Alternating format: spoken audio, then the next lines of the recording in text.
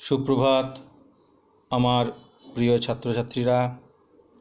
আমি বৈদ্যনাথ কুণ্ডু, দুর্গাপুর গভর্নমেন্ট কলেজের রাষ্ট্রবিজ্ঞান বিভাগের শিক্ষক।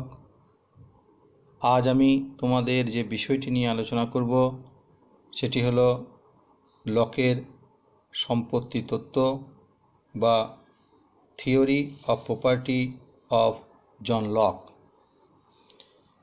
এটি ফোর্থ সেমিস্টারের কোর এইটের ইউনিট টু এর অন্তর্ভুক্ত বিষয়। আলোচনা শুরু করা যাক। লকের সম্পত্তি তত্ত্ব। লকের রাষ্ট্রতত্ত্বের একটি গুরুত্বপূর্ণ দিক হল সম্পত্তি বিষয়ক তার তত্ত্ব।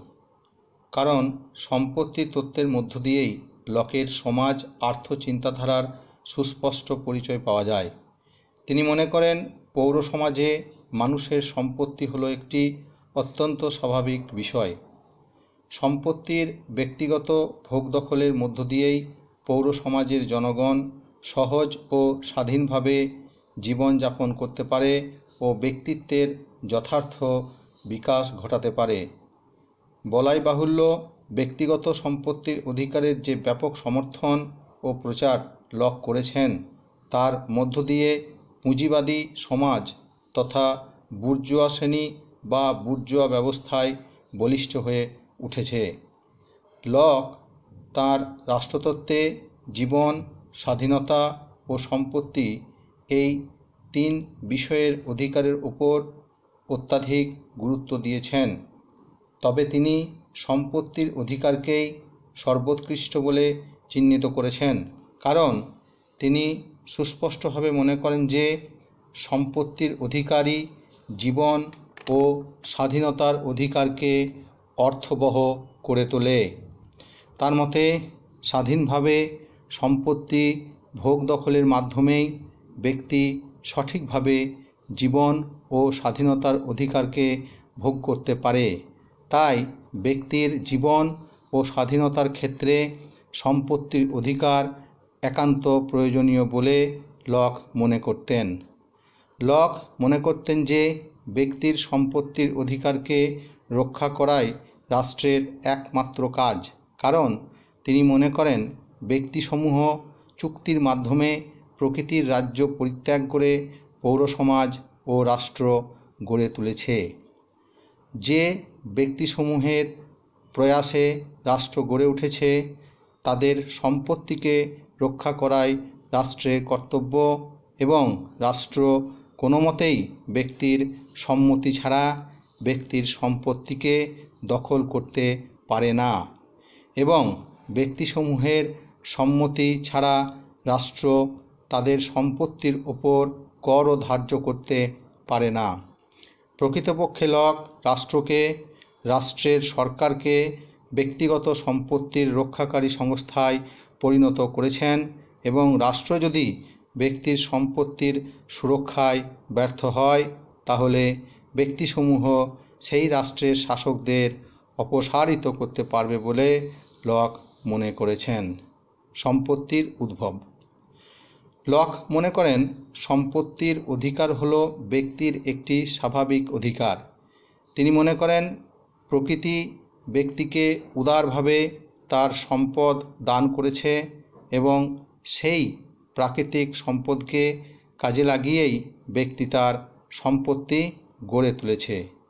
ঈশ্বর প্রকৃতির সকলের জন্য সমানভাবে এই জগতের সম্পদ ভোগ করার সুযোগ দিয়েছেন এবং ব্যক্তি সেই সম্পদকে ধীরে ধীরে সম্পত্তিতে পরিণত করেছে। লক মনে করেন যে ঈশ্বর বা প্রকৃতি ব্যক্তিকে অকৃপণভাবে যে সম্পদ দিয়েছেন, সেই সম্পদের উপর মানুষ তার শ্রমকে কাজে লাগিয়ে সম্পত্তি গড়ে তোলে। তার মতে, প্রকৃতির কাছ থেকে পাওয়া প্রয়োজনীয় সম্পদের উপর ব্যক্তি তার শ্রমশক্তি প্রয়োগ করে প্রকৃতির রাজ্যে সম্পত্তি গড়ে তুলল। সুতরাং প্রকৃতির রাজ্যে সম্পত্তি গড়ে তোলার ক্ষেত্রে ব্যক্তির শ্রম হলো একটি গুরুত্বপূর্ণ উৎস। লকের মতে, ব্যক্তি তার নিজের সমশক্তির উপর নিজেই অধিকার ভোগ করবে এবং সেই শ্রমের দ্বারা অর্জিত সম্পত্তি সে নিজেই ভোগ করবে। বলা বাহুল্য, লক সম্পত্তির উদ্ভবের ক্ষেত্রে শ্রমতত্ত্বের বা লেবার থিওরির বক্তব্য পেশ করেছেন যা পরবর্তীকালে কার্ল মার্কসের রচনায় বলিষ্ঠ হয়ে উঠেছে। লকের প্রচারিত শ্রমতত্ত্ব অনুযায়ী মানুষ দৈহিক শ্রমের ভিত্তিতে প্রকৃতি প্রদত্ত বিষয় বা প্রাকৃতিক সম্পদ বা সামগ্রী থেকে সম্পত্তি গড়ে তোলে। এক্ষেত্রে শ্রম বলতে তিনি ব্যক্তির গোটা দেহের শ্রমকে চিহ্নিত করেছেন। তার মতে, ব্যক্তি যেমন শরীরের বিভিন্ন অংশের উপর অধিকার ভোগ করে, তেমনি ব্যক্তির শরীর শ্রম করে, যা অর্জন করে, তার ওপর অর্থাৎ সমার্জিত সম্পত্তির উপর স্বাভাবিকভাবেই ব্যক্তির অধিকার থাকবে।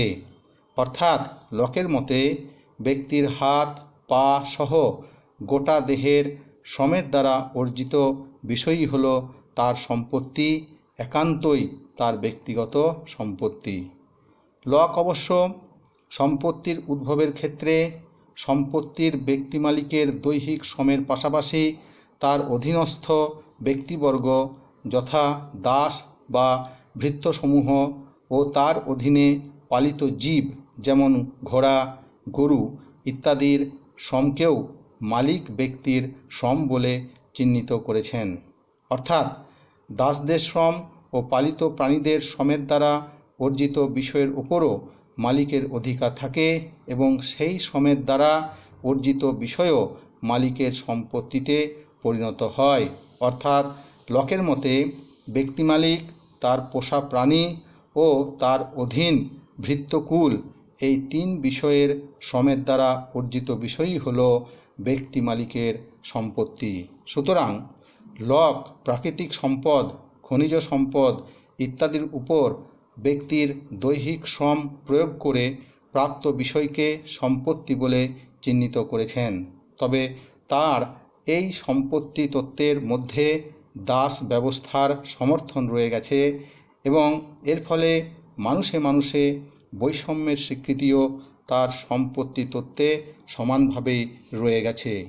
সম্পত্তির সীমা লক মনে করেন, ব্যক্তি কোনো নির্দিষ্ট জমিকে দখল করে সেখানে নিজের শ্রম আরোপ করে যা উৎপাদন করবে, তাই হলো তার সম্পত্তি এবং ওই সম্পত্তির উপর থাকবে তার পূর্ণ অধিকার।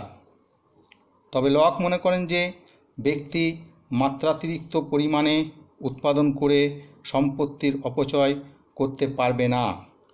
তার মতে, ব্যক্তি ততটুকুই উৎপাদন করবে এবং সেই মতো ততটুকুই সম্পত্তি গড়ে তুলবে যতটুকু সে নিজে ভোগ দখল করতে পারে বা পারবে। ভোগের অতিরিক্ত সামগ্রী উৎপাদন করে তাকে নষ্ট করতে মানুষ পারে না।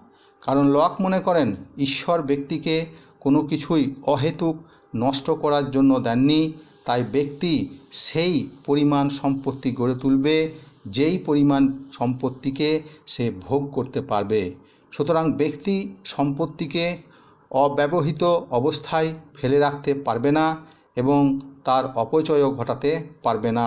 এদিক থেকে লক ব্যক্তির সীমাহীন সম্পত্তি অর্জনের প্রয়াসের বিরোধিতা করেছিলেন। কিন্তু লক অবশ্য পরিবর্তিত সমাজ আর্থ পরিবেশে অতিরিক্ত দ্রব্য উৎপাদন ও অতিরিক্ত সম্পত্তি অর্জনকেও স্বীকার করে নিয়েছেন। তবে সেক্ষেত্রে তিনি এই অতিরিক্ত বা উদ্বৃত্ত সম্পত্তির অপচয়ের ঘোরতর বিরোধিতা করেছেন। লক মনে করেন, ব্যক্তিসমূহ তাদের অতিরিক্ত বা উদ্বৃত্ত পণ্য সামগ্রীকে নষ্ট না করে নিজেদের মধ্যে বিনিময় করে নেবে এবং বিনিময়ের মাধ্যম হিসাবে মুদ্রা বা অর্থের ব্যবহার তারা করবে। তিনি মনে করেন, কোনো ব্যক্তি কোনো দ্রব্য বেশি উৎপাদন করলে সেই ব্যক্তি অর্থ বা মুদ্রার বিনিময়ে সেই দ্রব্য অন্য ব্যক্তিকে দেবে এবং সেই মুদ্রা বা অর্থের মাধ্যমে সে সম্পত্তি অর্জন করবে। সুতরাং লকের মতে, অতিরিক্ত পণ্য উৎপাদন ও অতিরিক্ত সম্পত্তি অর্জন কোনো অপরাধ নয়, বরং ব্যক্তি অর্থ বিনিময়ের মাধ্যমেই স্বাভাবিকভাবেই উত্তরোত্তর সম্পত্তি অর্জনের ও ভোগ দখলের অধিকারী। এই অর্থ বা মুদ্রায় সম্পত্তি সংগ্রহের উৎসস্বরূপ। তিনি স্পষ্টভাবেই বলেছেন, thus came in the use of money. তাঁর মতে, অর্থ বা মানি বা মুদ্রায় পুঁজি সংগ্রহের প্রধান উৎস এবং এই পুঁজি ব্যক্তিকে সম্পত্তির মালিকে পরিণত করে। এদিক থেকে লক স্পষ্টভাবেই উদীয়মান পুঁজিবাদী ব্যবস্থার পক্ষে জোরালো সওয়াল করেছেন, সন্দেহ নেই। লকের সম্পত্তি তত্ত্বের বৈশিষ্ট্য। সম্পত্তি সংক্রান্ত লকের বক্তব্যকে বিশ্লেষণ করলে তার বক্তব্যের কয়েকটি বিশেষ বৈশিষ্ট্য আমরা লক্ষ্য করে থাকি। যেমন, সম্পত্তি হল প্রাকৃতিক সম্পদের ব্যবহৃত রূপ। নম্বর দুই, প্রাকৃতিক সম্পদের উপর ব্যক্তির শ্রম আরোপিত হয়ে প্রাপ্ত বিষয়ই হল সম্পত্তি। নাম্বার তিন, সম্পত্তির সমতত্ব অনুযায়ী ব্যক্তি মালিকের শ্রম, তার দাসদের শ্রম ও তার পালিত জীবদের শ্রম এই তিন প্রকার শ্রমের মিশ্রণে সম্পত্তি গড়ে ওঠে। নাম্বার চার, সম্পত্তির ব্যক্তিগত মালিকানা শুধু স্বাভাবিক বা প্রাকৃতিকই নয়, একান্ত বৈধও বটে। নাম্বার পাঁচ, ব্যক্তি তার প্রয়োজন মতো সম্পত্তি ভোগ দখল করবে। নাম্বার ছয়, ব্যক্তি তার প্রয়োজনে অপরিমেয় সম্পত্তি অর্জন করতে এবং ভোগ দখল করতে পারবে। নম্বর সাত, সম্পত্তি গড়ে তোলার মাধ্যম হলো অর্থ বা মানি অর্থ সম্পদের মধ্য দিয়েই সম্পত্তি উত্তরোত্তর গঠিত ও বর্ধিত হবে। নম্বর আট, অর্থ বা মানি হল বিনিয়োগযোগ্য যা বিনিয়োগ করে উত্তরোত্তর অর্থ সম্পদ লাভ করা যায়, তাই অর্থ বা মানি হল সচল ও ক্রমবর্ধমান। এই সমস্ত বৈশিষ্ট্যের প্রেক্ষাপটে আমরা দেখতে পাচ্ছি যে লক ব্যক্তির ব্যক্তিগত সম্পত্তিকে যেমন স্বীকার করেছেন, তেমনি সম্পত্তির অধিকারকেও বৈধতা দান করেছেন। সমালোচনা। লক তার সম্পত্তি তত্ত্বে সম্পত্তির ব্যক্তিগত মালিকানার পবিত্রতা রক্ষা করেছেন, কিন্তু তবুও তার তত্ত্ব সমালোচনার ঊর্ধ্বে নয়, বরং নানা দিক থেকে তা সমালোচিত হয়েছে। যেমন, এক তিনি ব্যক্তিগত সম্পত্তির পবিত্রতাকে স্বীকৃতি দিতে গিয়ে সম্পত্তি আহরণের জন্য ব্যক্তির উন্মত্ত মানসিকতাকে স্বীকৃতি দিয়েছেন, যা আর্থিক অনাচারকেই শুধু প্রশ্রয় দেয়। দুই, সম্পত্তি সংগ্রহের জন্য ব্যক্তিসমূহের মধ্যে প্রকাশ্যে দ্বন্দ্ব ও সংঘর্ষের ইন্ধন ও তার তথ্যের মধ্যে নিহিত রয়েছে। তিনি ব্যক্তির অপরিমেয় সম্পত্তি অর্জনের প্রয়াসকে স্বীকৃতি দিতে গিয়ে সমাজ আর্থ বিশৃঙ্খলা ও নৈরাজ্যের পথ প্রশস্ত করেছেন। তিন, তিনি তার সম্পত্তি তত্ত্বে স্বাভাবিকভাবেই সম্পত্তিবান ও সম্পত্তিহীনের মধ্যে অকাম্য ভেদ বিচার করেছেন। চার, তিনি তার সম্পত্তি তত্ত্বে মানুষে মানুষে প্রাকৃতিক সাম্যের ধারণাকে স্পষ্টতই অস্বীকার করেছেন এবং ব্যক্তিসমূহের মধ্যে আর্থিক ক্ষমতাগত বৈষম্যকেই প্রকারান্তরে স্বীকার করে নিয়েছেন। নম্বর পাঁচ, লক ব্যক্তি কর্তৃক উত্তরোত্তর হারে সম্পত্তি অর্জনের প্রয়াসকে সমর্থন করেছেন বলে তিনি ধনীর সীমাহীন ধনার্জনের মরিয়া প্রচেষ্টা ও আগ্রহকে স্বীকৃতি দিয়েছেন এবং সেই কারণেই ধনীর দ্বারা দরিদ্রের শোষণ পীড়নকে স্বাভাবিক প্রথা হিসাবে সমর্থন জানিয়েছেন।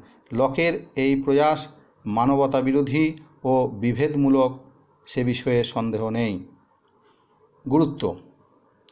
বহু সমালোচনা থাকা সত্ত্বেও লকের সম্পত্তি তত্ত্বের গুরুত্বকে কোনো মতেই অস্বীকার করা যায় না।